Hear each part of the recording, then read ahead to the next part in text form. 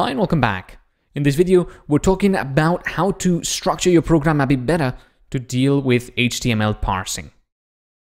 So the first thing I'm going to do is I'm actually going to select everything in my file, in my middle HTML file, and go and create a new file that I'm going to call uh, class HTML parsing, for example.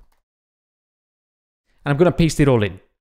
And what I want to show you is a way that you can structure this so that instead of just single functions, you have something a bit more self-contained, a class.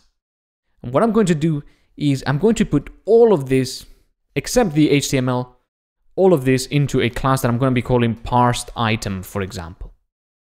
And this is going to be a class to take in an HTML page or part of it and find properties of an item in it. Okay. So it's going to take in page or potentially a, a section of a page and it's going to do self.soup equal BeautifulSoup of page and html.parser. Okay.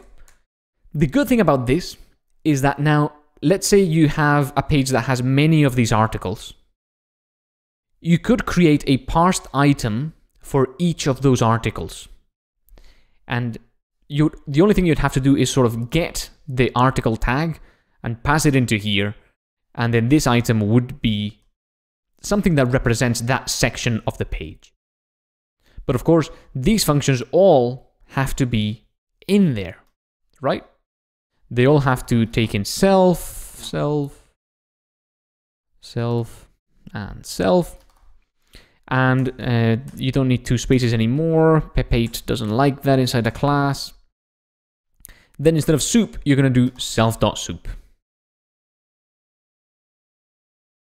And what's happening now is that for this soup that you've created when you passed in this portion of the, of the page to this class, you're going to be able to find the name and the link and so forth for each item. So if you had many articles, you could just give each one to this class, and this class would find inside the article the item name or the item link and so forth. Now, in order to make them actually find things, instead of printing things out, we're going to return. So instead of print, we're going to return. And you're going to see how easy it becomes to deal with um, all this stuff. I'm going to delete this print matcher group there. And then we're going to return here as well. You're going to see how easy it is to deal with this stuff now. Because all you have to do in order to, to, um, get something out of this item is to say parsed item, item HTML. This can be your item, and then say something like print item dot find item rating. Then run the file, and you get three out. So what's the benefit of this? Well, you've done encapsulation now, essentially. You've encapsulated all the logic, you've stored all the logic away inside this class, and now you can reuse the class for each of the articles you've got on your site. You don't have to sort of wonder about trying to get any uh, drilling down into specific articles using more complex locators. The, what you could do is, if you have a large site with many articles, say something like soup.find all article, and then for each uh, parsed item p for p in that. Something along these lines. We're going to look at exactly how it would go, but I just want you to see that then you would end up with a list of these parsed items and each item would be able to find its own rating or price and so forth. If you want to make it even better, you can just remove this find item because the class is already called item, you know, you don't need find item things.